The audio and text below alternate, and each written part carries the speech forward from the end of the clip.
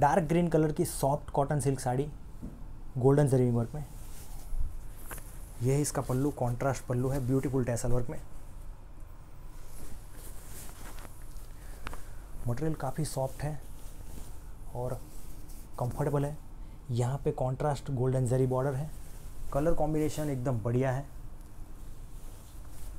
इसका total length 6.3 metre रहेगा 5.5 metre sari length और एक मीटर का कॉन्ट्रास्ट ब्लाउज पीस रहेगा।